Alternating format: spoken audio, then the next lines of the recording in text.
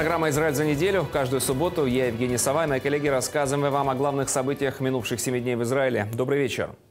Израильтяне и палестинцы ведут тайные переговоры в Лондоне. С таким сообщением вышла во вторник влиятельная арабская газета «Эль-Халидж». Автор материала утверждает, что за последние два месяца представители палестинского лидера Махмуда Аббаса и израильского премьера Нетаньягу провели по меньшей мере пять встреч в британской столице.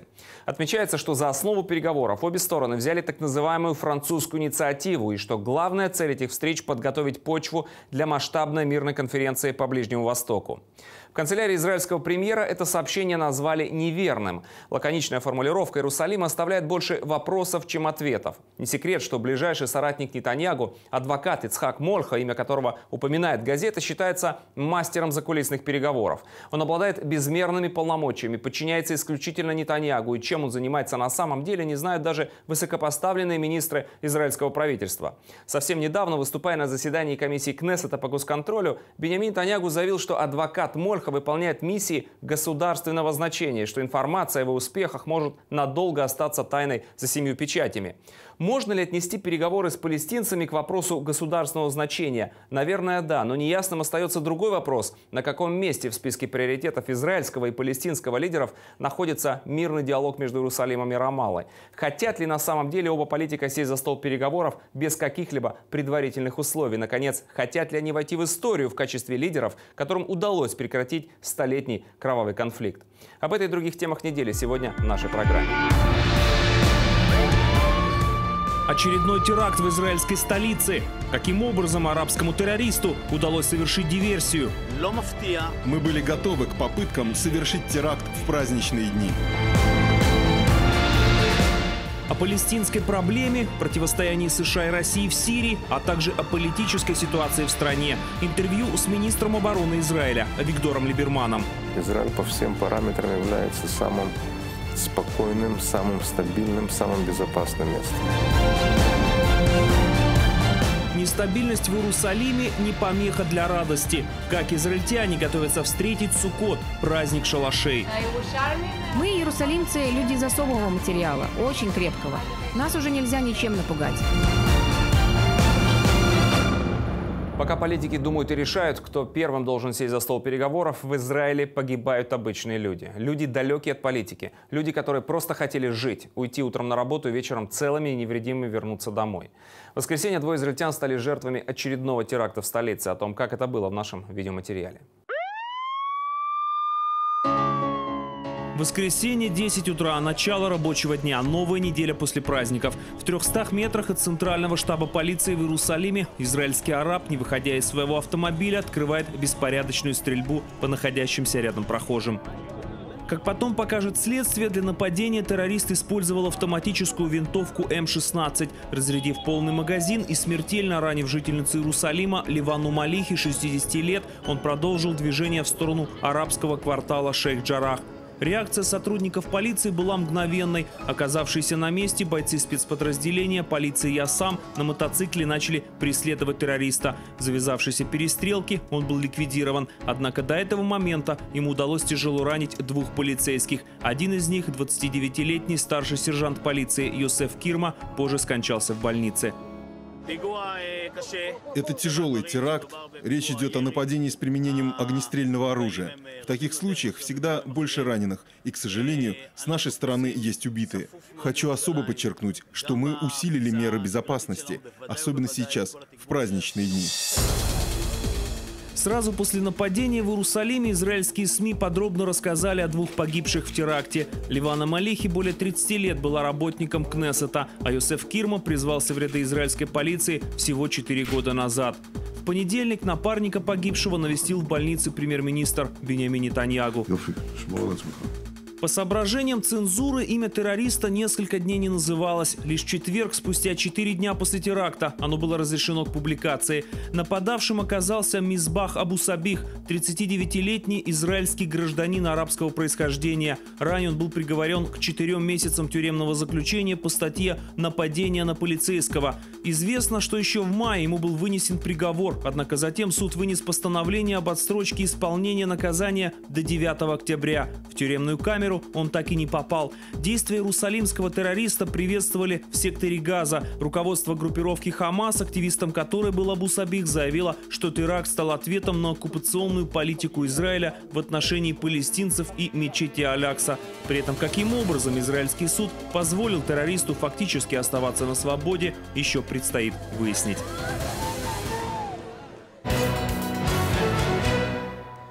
Еще об одной теме, которая косвенно имеет отношение к палестино-израильскому конфликту. В четверг, 13 октября, исполком комиссии ООН по образованию, науке и культуре, известный под аббревиатурой ЮНЕСКО, проголосовал за документ, фактически отрицающий связь еврейского народа с Храмовой горой. В резолюции, которая была внесена представителями палестинской автономии Египта, содержится резкое осуждение Израиля за нарушение прав мусульман в Иерусалиме. И это при том, что сегодня израильские власти позволяют абсолютно открытый доступ к святым местам в старом городе. Проекте документа говорится об особой связи ислама с Храмовой горой Иерусалимом, не упоминая при этом о правах евреев на эти святыни. Отмечу, что эта новость не стала сюрпризом для израильской дипломатии. О подготовке к резолюции ЮНЕСКО в Иерусалиме знали, но ничего поделать не могли.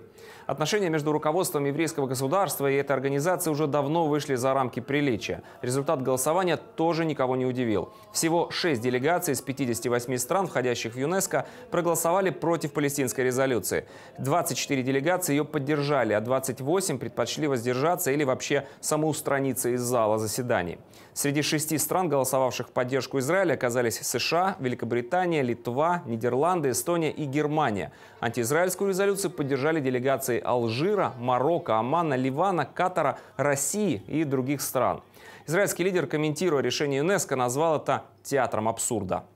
Организация ЮНЕСКО приняла еще одно странное решение – Видимо, там не читали Библию. Зато я предлагаю членам ЮНЕСКО посетить Арку Тита в Риме, где видно, что именно римляне вывезли после того, как уничтожили и разграбили храм, стоявший на Храмовой горе 2000 лет назад. На Арке Тита есть барельеф Семисвечника, а это наиболее узнаваемый символ еврейского народа, являющийся сегодня также символом еврейского государства. Неужели в ЮНЕСКО скажут, что император Тит тоже занимался сионистской пропагандой? Сказать, что Израиль не имеет никакого отношения к Храмовой горе и к Стене Плача, все равно, что сказать, что Китай не имеет отношения к Великой Китайской стене или что Египет не имеет отношения к пирамидам. Приняв это абсурдное решение, ЮНЕСКО утратила последнюю каплю своей легитимности. Но я верю, что историческая правда сильнее, и она восторжествует. Смотрите далее в нашей программе.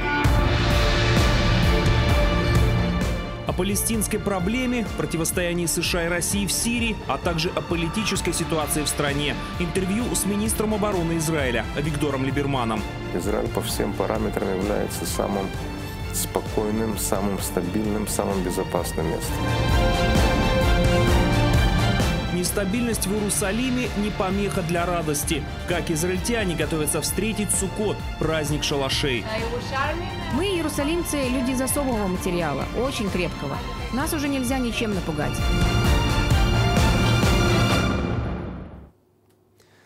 В начале мая партия «Наш дом Израиль» во главе с Виктором Либерманом вошла в правящую коалицию Бенямина Нетаньягу. Либерман получил пост министра обороны, что вызвало немало критики со стороны политических противников премьера. Сменить бывшего начальника генштаба Мушебу Гиалона на старшего сержанта запаса Либермана и, главное, ради чего? Ради пяти дополнительных мандатов? Сам Либерман, едва вступив в должность, дал нашей программе короткое интервью, в котором отказался комментировать свои действия на посту главы оборонного ведомства. Зато пообещал пообщаться с нами сразу, как только представится такая возможность. Спустя 4 месяца наша съемочная группа отправилась в Министерство обороны в Тель-Авиве на встречу с Виктором Либерманом.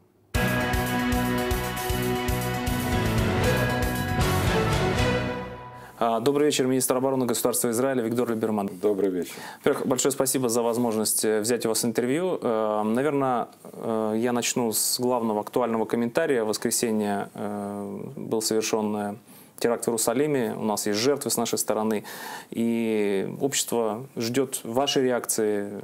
Простой вопрос, когда это закончится? Ну давайте посмотрим на карту Ближнего Востока.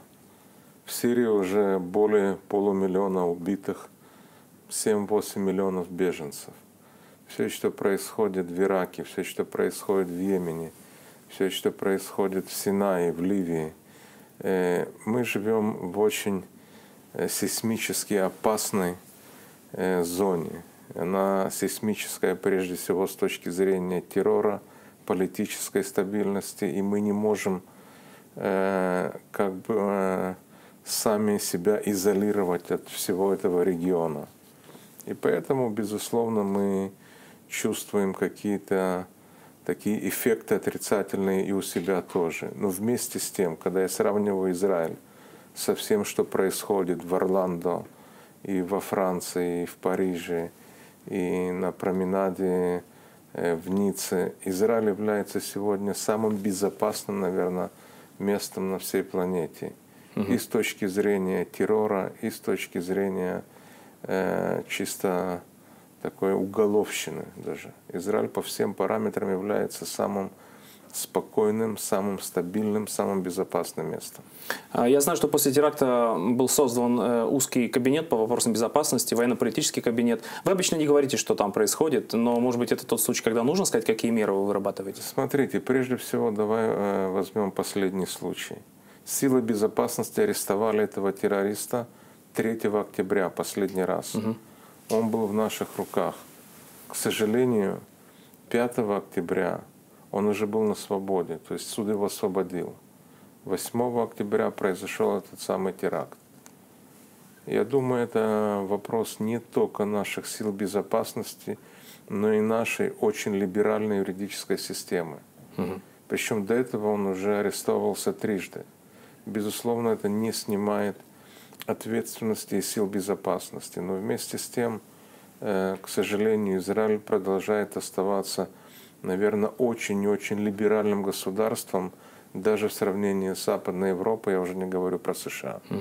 Знаете, мы находимся с вами сейчас в вашем кабинете, это Министерство обороны, э, отсюда виден весь Тель-Авив. Э, я в свое время помню, как Ариэль Шарон сказал, что то, что видно отсюда, не видно оттуда. А вот вы уже 4 месяца министр обороны, вы не давали интервью 4 месяца. А, вы что-то видите отсюда, что не видно оттуда? Наоборот, с точностью да наоборот. То есть все, что я видел оттуда, отсюда я вижу намного лучше и намного более четко. Но это все то же самое. То есть э, я э, хочу, наверное, подчеркнуть, что в отличие от большинства своих коллег, угу у меня абсолютно не изменилось ни мировоззрение, ни подходы, ни мои выводы за эти четыре месяца, что я нахожусь в Минобороне. Но вы что-то изменили в Министерстве обороны? Ваша пе- вот первая подпись под каким решением была? Вот четыре месяца назад. Я думаю, что изменилось очень много, и все мы, наверное, это тоже хорошо почувствовали. И по реакции на любые провокации сектора газа, и по э, мобилизации и тем тренировкам, которые проходят и наши резервисты, и солдаты на действительной военной службе.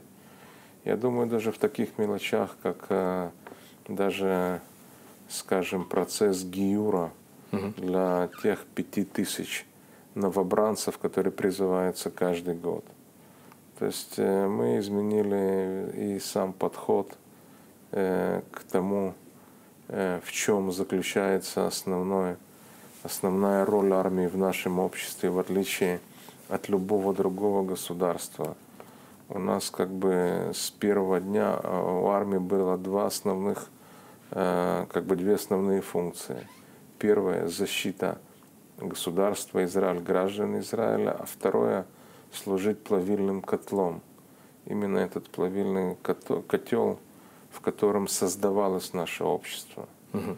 Во многом вторая функция была упущена за последние годы, или как бы она ушла на третьестепенный, третьестепенный план. И я это все вернул на круги своя. И вы знаете, я, э, вы сказали, э, придя в кресло министра обороны, вы сказали, что вам нужно время, чтобы изучить обстановку, да. А, познакомиться с, непосредственно со структурами Министерства обороны. И получается, всего 4 месяца прошло, и вы уже как бы даете интервью, что, конечно, нам приятно, но получается, что израильскую систему безопасности можно так выучить за 4 месяца? Нет, вы знаете, я был многие годы членом кабинета, узкого кабинета. Я многие годы был министром иностранных дел. Я возглавлял комиссию по иностранным делам и безопасности. Много лет сидел в комиссии по иностранным делам и безопасности.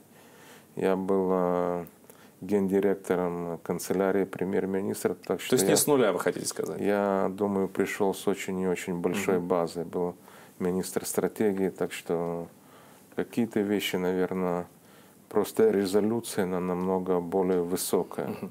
Но, в общем-то, сказать, я достаточно хорошо был знаком и как э, председатель специальной комиссии КНЕСТа, который утверждает бюджет армии. То есть поэтому я пришел достаточно с большим багажом. А как все разговоры, что как вот сержант Либерман, который имеет за своими плечами несколько лет резервистских сборов, как он сейчас будет командовать генералами? Вот ваша первая встреча с генералами, Вы как знаете, она прошла? Я думаю, что если мы обратимся к истории государства Израиль, самыми удачными министрами обороны как раз были гражданские лица. Начнем с первого министра обороны, основателя нашей армии Бенгуриона. Мы можем вспомнить э, Мошаренса, Минахама Бегина, Амира Переца. Шимона так, Переса, в конце концов. Шимона Переса и так далее. Так что мы как бы всегда живем в плену каких-то угу. таких э, предвзятых подходов. Но в принципе, если я возьму историю нашей армии, я думаю, наиболее удачные министры обороны, они как раз были гражданскими. Ну, вы помните, в свое время ваш предшественник в кресле министра обороны сказал, что здесь, на территории базы Кирия, нужно ходить в высоких сапогах, слишком много змей. Он имел в виду как раз чиновников Минобороны. А вам, я надеюсь, не приходится э, ходить в высоких э, Знаете, сапогах? Я вхожу в тех же самых туфлях, в которых я ходил и в оппозиции и чувствую себя прекрасно. А, господин Либерман, давайте, с вашего позволения, затронем э, ключевые темы. И, наверное, эти темы, э, безусловно, являются приоритетными, в том числе и э, в вашей деятельности в качестве министра. А я хотел бы начать с сирийской темы. Это тема, которая, безусловно, на слуху всего мира. Прошел год с начала военной, российской военной операции в Сирии. Как бы вы прокомментировали сегодняшние действия в Сирии и в том числе роль России на территории Сирии? Вы знаете, наша стратегия с первого дня возникновения этого конфликта в Сирии, она не изменилась. Мы не вмешиваемся в внутренние дела другого государства. Нас это не интересует, пока это не затрагивает наших интересов, безопасности наших граждан. Все остальное пускай решают сами. Проблема Сирии, что там присутствуют все мировые державы, региональные державы, то есть и Россия, и США, и Турция, и Иран, и Саудовская Аравия, и целый ряд различных организаций э, прорежимных, антирежимных, исламистские, чисто такие, я бы сказал, секторальные – курды организовывают свои милиции, другие организовывают свои милиции. Ну и у Израиля свои интересы. И Израиль, безусловно, только отстаивает свои интересы. Мы не принимаем э, никакого участия во внутренних разборках внутри Сирии. Но мы ни в коем случае не готовы, чтобы была затронута э, наша неприкосновенность, наш суверенитет или безопасность наших граждан. Год назад э, премьер-министр Нетаньягу во время визита в Россию договорился о создании координационного центра между российской армией и израильской армией, как раз в небе над Сирией. Сегодня это ваша ответственность как министра обороны, этот центр? Безусловно, и он продолжает э, достаточно удачно функционировать, доказал себя. Мы пытаемся избежать любых трений и с э, Россией, и США, и со всеми другими. Мы как бы координируем свою деятельность со всеми игроками на этой арене, но мы стараемся держаться в стороне. Но пока встречи с российским министром обороны у вас не было? Пока не было. Почему? Ну, наверное, за 4 месяца невозможно успеть все. Для нас было основное, для меня и на первой же неделе я улетел э, в Вашингтон и в Техас закрыть большую сделку по поставке э, новейших самолетов F-35. Удачно ее завершили и я думаю, что за 4 месяца, опять-таки, подписание соглашения на 10 лет американской военной помощи тоже было очень непростым мероприятием. И, в общем-то, все это закрыто. Мы еще коснемся сейчас темы помощи. Я э, хочу э, процитировать вам опрос, который наш канал проводил на прошлой неделе, э, причем по, всем, по всему миру. Был задан вопрос такой. Считаете ли вы, что возможен военный конфликт между Соединенными Штатами и Россией? Как бы на этот вопрос ответил гражданин А.Л. Либерман. Я думаю, что такого конфликта не будет. Это две державы, которые имеют очень большой опыт и политически, и главное тактически, и четко знает, как между собой в конце концов утрясти любые проблемы. То есть это уже не первая шероховатость или напряжение в двухсторонних российско-американских отношениях. Можем начать с кубинского кризиса, Берлин и так далее на протяжении многих лет всегда находилась в конце концов формулировка, которая как бы позволяла выйти с честью э, двум э, государствам. То есть все понимают, что конфликт, прямой конфликт между Россией и США – это ну, такой, э, скажем, апокалипсис now. Это э, тот самый сценарий, который никто не хочет видеть. И Но прежде, возврат к холодной войне возможен сегодня? И прежде всего нужно понять, что и в Кремле, и в Белом доме сидят люди с рациональным мышлением. Понимаете, в чем основная проблема современного мира или в особенности Ближнего Востока? Что многие игроки не являются нерациональными. Угу. Понимаете, там Бен Ладену или исламскому государству им нечего а, предложить взамен. Им не нужны там соглашения международные, деньги там или территория. Угу. То есть они просто фанатики, которые верят в какую-то совершенно изуверскую идею, и они будут ее продвигать, они с ними невозможно договариваться ни о чем. Э, Бен Ладен, у него было все, что ему можно было предложить. Ничего. То есть ни территории, ни соглашения, ни денег. Он сам из богатой королевской там, семьи. И поэтому нужно понять, что проблема Ближнего Востока – это нерациональные игроки. А когда есть э, два рациональных государства с э, историей, культурой, с багажом, с опытом военным, политическим, то я думаю, что в конце концов они найдут э, варианты разрешения этого спора. Но я помню, еще несколько лет назад э, э, многие здесь, в том числе в Израиле, говорили, что что такое исламское государство? Это группа отморозков, которые на джипах Toyota, э, пытаются тут терроризировать Ближний Восток. А сегодня это государство, которое контролирует территорию в 300 тысяч квадратных километров, угрожает всем странам вокруг. И такие страны, как Россия, США и, возможно, Израиль, они что, не могут объединиться, чтобы уничтожить исламское государство? Я думаю, я думаю что это слабость международного сообщества. Действительно, если вы очень правильно описали исламское государство, такой вариант Батьки Махнов в современном э, варианте, только вместо тачанок эти джипы с какими-то там э, пулеметами или с какими-то там э, уста орудиями, установками. И много нефти, миллион долларов каждый во день прибыль. Во, во всяком случае, сегодня, я думаю, все понимают, что это опасность для всех. Если есть немного тем, по которым есть абсолютная согласие, абсолютный консенсус, включая Россию и США, это исламское государство. Оно является запрещенным и в США, и в России, и в Европе. То есть ни у кого тут никаких иллюзий нет. Угу. Я как раз думаю, что все это намного глубже. Это не исламское государство, это проявление прежде всего слабости международного сообщества. Другой вариант это, конечно же, вот именно вся структура государств арабских, э, она во многом сегодня находится как бы в таком э, полу э, развалившемся состоянии. То есть до исламского государства началась арабская весна. И арабская весна, она прежде всего социальное явление – которая развалила вот такой патриархальный уклад, э, традиционный уклад арабского общества внутри существующих государств. То есть демократия для арабов не подходит, вы хотите Дело сказать? даже не демократия. Думаю, что основная проблема, нужно понять, что залогом любой э, здравой, миролюбивой политики, рационального подхода – это наличие мощного среднего класса. Давайте посмотрим на самые преуспевающие государства мира. Ну, возьмем там Швейцарию, Норвегию.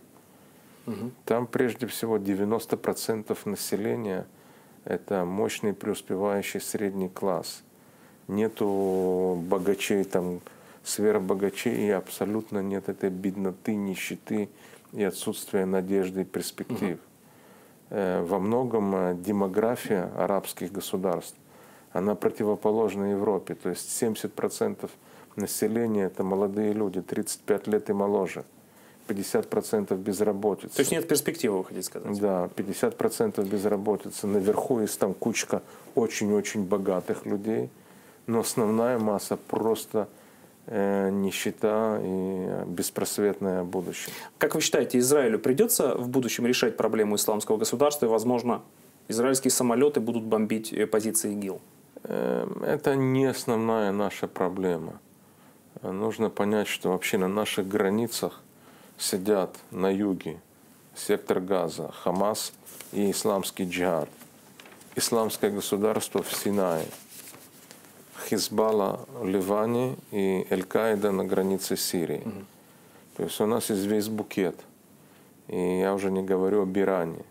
И поэтому нужно очень правильно тут э, рассчитать свои силы и одновременно, как тот жонглер, который подкидывает сразу там 5-6 шариков, все время ловить правильный момент и правильно отражать угрозы, направленные против нашего государства. Но вы сказали, что главная угроза это Иран, несмотря на то, что было подписано соглашение с Западом, и почти год Иран, согласно опять же МАГАТЭ, согласно Белому дому, Иран отказался от производства ядерного оружия. Ну, Или да, это не так? Давайте возьмем э, факты вот за последний год, не будем идти далеко.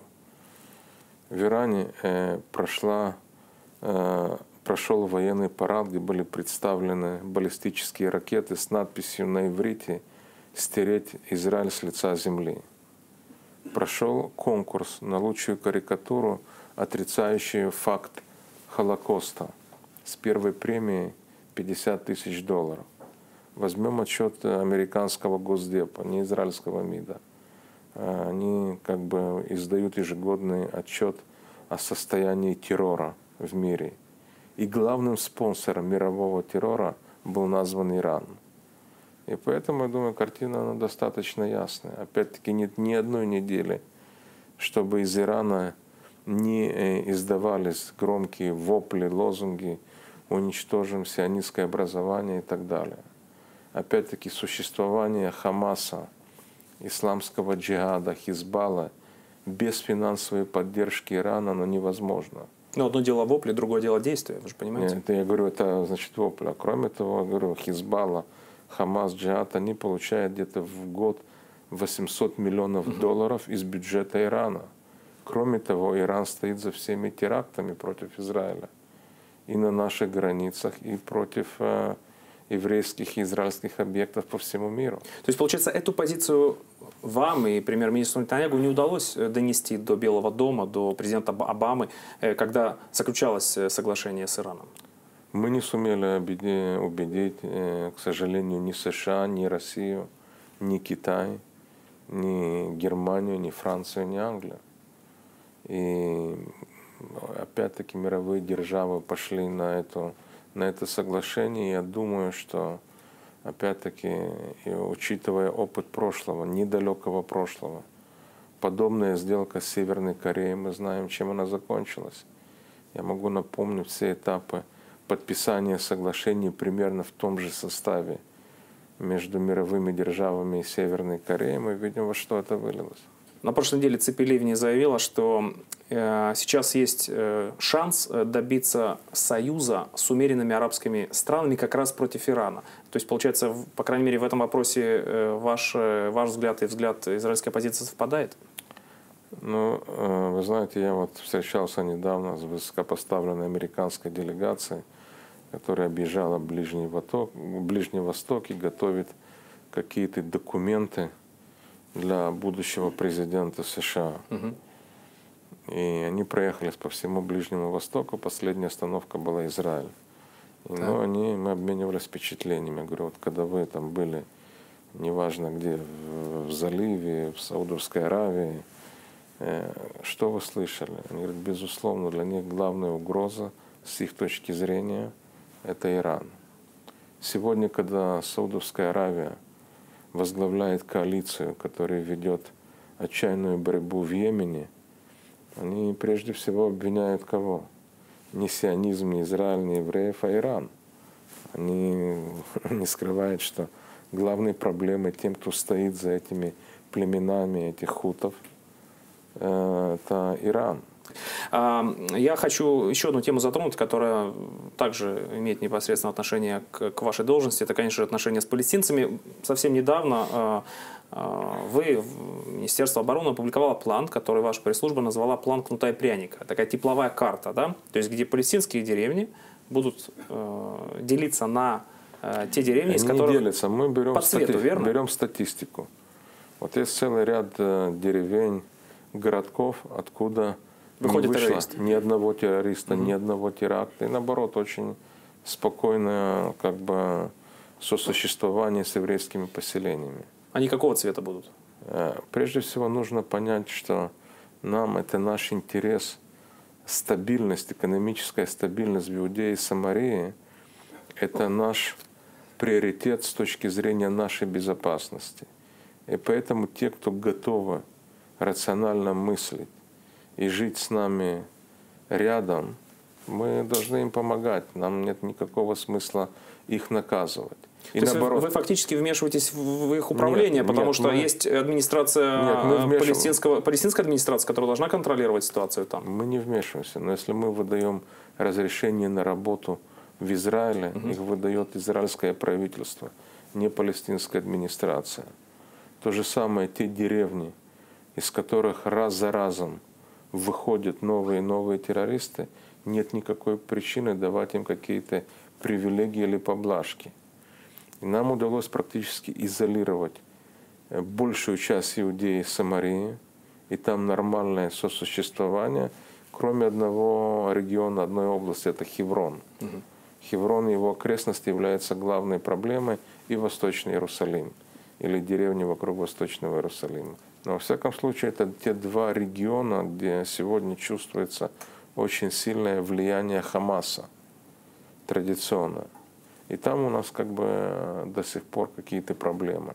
Ну, э, Противники этой идеи говорят, что это коллективное наказание. Как вы можете изолировать такой крупный город, как Хеврон, э, или, например, тот же Восточный Иерусалим? Кто-то вообще скажет, что это Мы- раздел Иерусалима, столица Израиля? Нет, мы не изолировали ни Хеврон, ни Иерусалим, но мы все, что касается наших инвестиций, разрешений на работу, различных поблажек. Например, мы утвердили э, там целый ряд э, э, таких экономических, индустриальных зон, больниц, включая даже футбольные поля и целый ряд строительства.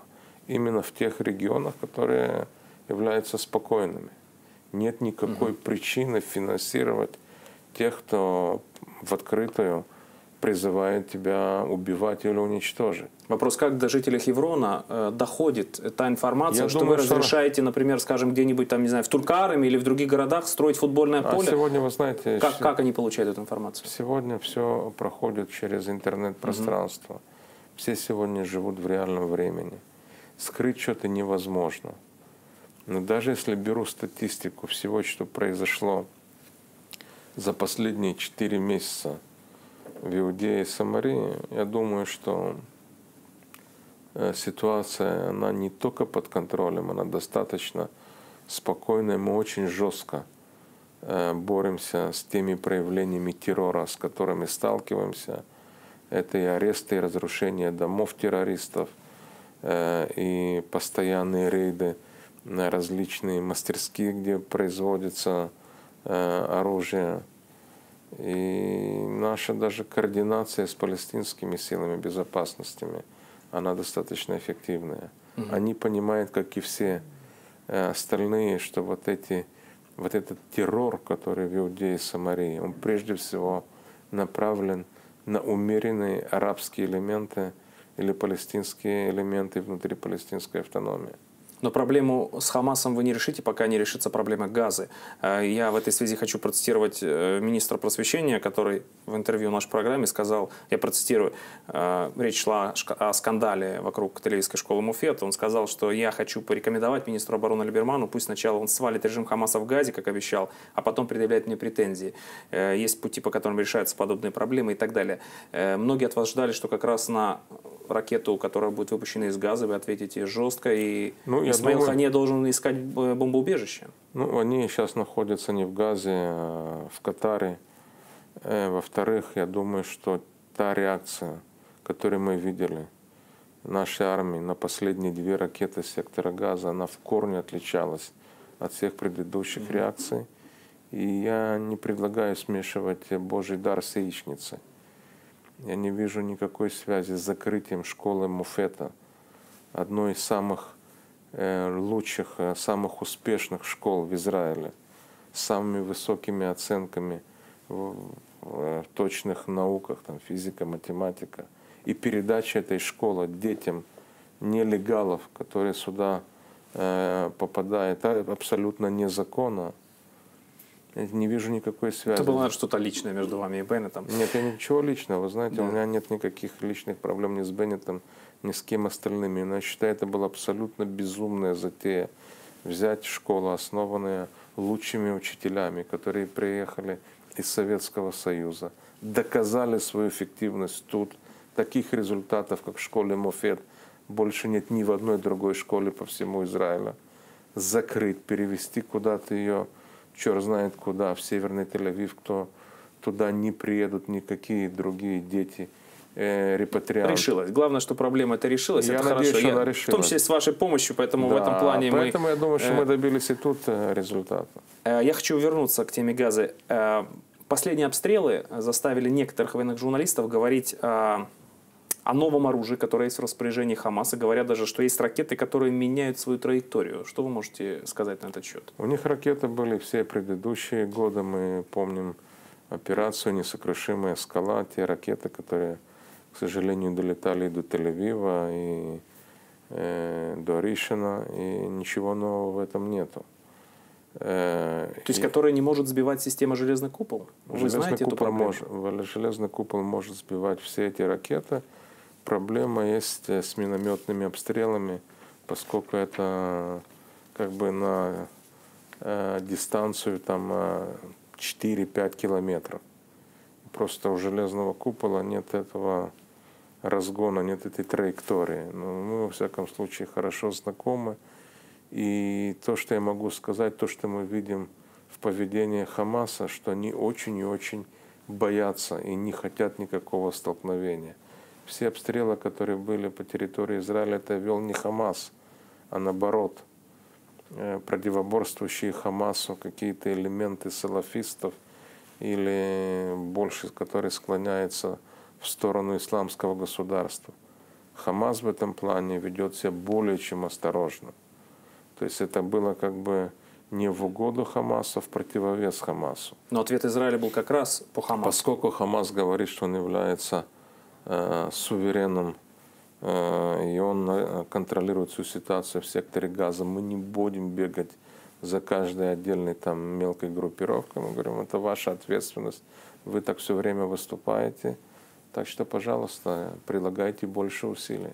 А, тема солдата Элиора Азари. Вы также не меняете свою позицию. Вы сказали буквально недавно в Ариэле, что поддержите солдата, какое бы решение ни вынесла юридическая система. Но, наверное, э, в этом вопросе, опять же, вы согласитесь с Беннетом, который призвал помиловать солдата. Это правильный шаг, на ваш взгляд? Я думаю, что это абсолютно лишнее сегодня говорить о помиловании. Его еще никто не осуждал. Угу.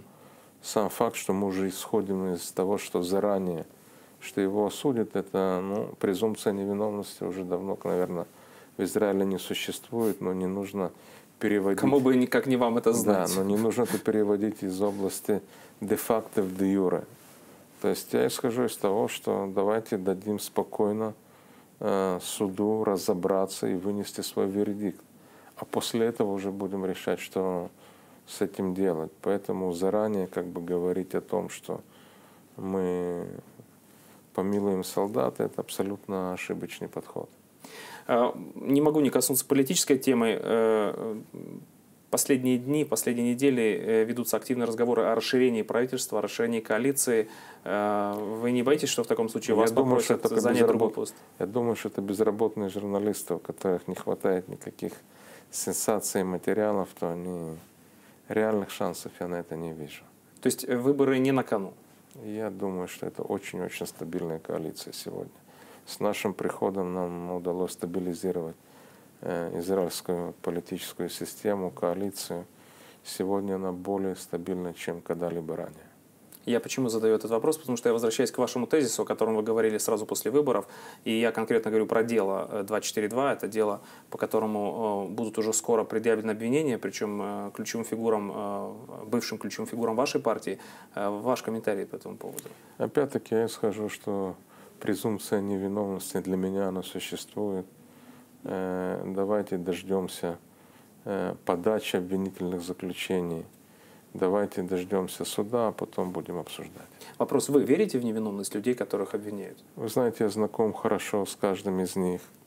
Я помню, что я прошел, я проходил это всего лишь 17 лет.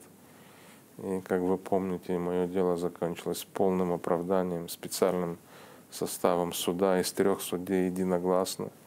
Так что я предпочитаю оставаться оптимистом. Пока вы были в оппозиции, вы говорили, что как раз это, эта тема раскручивается именно, чтобы нанести вам вред. А сейчас опять эту тему раскручивают. Вы знаете, э, тема, она достаточно э, искусственная, и я думаю, что есть, нету, все это нужно сначала довести до конца, а потом э, создавать заголовки, когда все это каждый день на уровне как бы утечки информации у определенных журналистов, в определенных средствах э, массовой информации все время те же все фигуранты, то ощущение, оно не самое приятное, я бы сказал. У кого попросите прощения э, в судный день? В знаете, очередь. в судный день мы должны каждый сам для себя, не для публики, делать какие-то выводы. И лучше это делать самому, без э, показухи, без э, э, того, чтобы сотрясать воздух кулаками или заголовками. И я надеюсь, что, как и все евреи, неважно, где они проживают, я для себя тоже сделаю правильные выводы. Министр обороны государства Израиля Виктор Либерман, большое вам спасибо. Спасибо. Смотрите далее в нашей программе. Нестабильность в Иерусалиме не помеха для радости. Как израильтяне готовятся встретить Суккот, праздник шалашей. Мы, иерусалимцы, люди из особого материала, очень крепкого. Нас уже нельзя ничем напугать. На минувшей неделе в Израиль прибыли 63 новых репатрианта из Эфиопии. Это первая группа из 1300 представителей эфиопского племени Фалашмура. Несмотря на то, что ранее израильские власти объявили о завершении репатриации из Эфиопии, под давлением депутатов от Ликуда Давида Амсалима и Авраама Нагоса было решено привести еще 1300 человек. При этом подчеркивается, что в отличие от прежних волн Али из Эфиопии, речь идет о неевреях, не подпадающих под закон о возвращении. Они получат статус постоянных жителей и смогут претендовать на гражданство лишь после прохождения процедуры Гиюра. Отмечается, что помощь переправки Фалашмура в Израиль оказал Сахнут, который направил своих сотрудников в Адис-Абебу. Дипломатическое сопровождение операции оказывал МИД Израиля. Этот шаг вызвал критику ряда русскоязычных депутатов Кнеста, которые считают, что власти страны позволяют привозить в Израиль неевреев из племени Фалашмура, в то время как из страны постоянно депортируют родственников неевреев, выходцев из стран бывшего Советского Союза. И напоследок о том, как израильтяне собираются встретить праздник Суккот. Он наступит уже на следующей неделе, и к нему в Израиле особое отношение. Это праздник, когда по традиции принято проводить время в шалашах, есть овощи и фрукты, а еще считается, что после праздника Суккот наступает осень и начинается сезон дождей. О том, как в Иерусалиме готовятся к празднику в репортаже Сергея Услендера. Если кому хочется праздничного настроения, то ему сюда, на рынок Махне и Гуда. Вот оно, чрево Иерусалима, кипит, бурлит, переполненное жизнью. И нет здесь никаких следов напряжения, в котором город живет последние месяцы. И даже солдаты здесь не военные, а посетители. Едят, покупают, в общем, развлекаются, как и все, кто пришел сюда накануне праздника Суккот. Тут даже не надо говорить, надо просто сидеть и слушать. Вот такого, например, уличного певца, который в ноты не попадает, зато весь отдается музыке.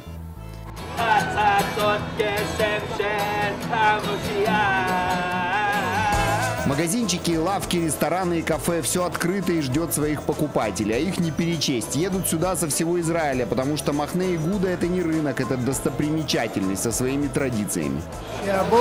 Не бойтесь, приходите сюда. Тут у нас атмосфера, какой больше нигде не найдете. И товары, конечно, самые лучшие. Пора уже встать с дивана и прогуляться. А лучшее место, чем это, не найдете. Прогулка тут совсем не поход в супермаркет. Это история, это легенда, это запахи, которые кружат голову. Потому бродят тут ошалевшие от такой экзотики туристы. В Европе или Америке, конечно, торговые центры будут побогаче, но разве сравнишь торговый центр с его безликими кондиционированными магазинами вот с этим местом? Недаром же сюда водят экскурсии. А где вы видели экскурсию в торговом центре? Вот американцы и те совершенно потрясены, а уж искушеннее людей и представить трудно. Это невероятно. Так почувствовать Иерусалим, понять его, осознать. Я такого места больше нигде не видел.